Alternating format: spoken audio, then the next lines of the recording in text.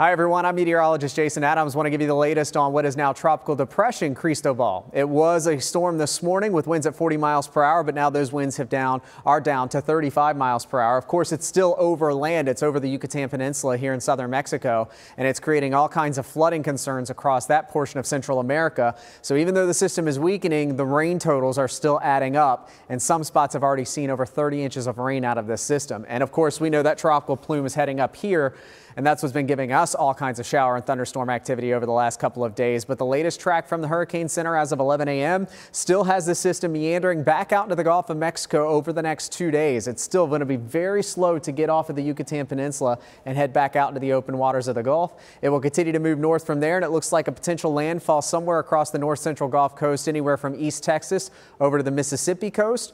And that would be late Sunday night into Monday as a tropical storm. At least that's the current forecast now. And of course, our team of meteorologists are here throughout the event. Even though it's not impacting us, we know that there's a lot of interest when it comes to the tropics. So we're going to keep you posted on this as we go into the next few days.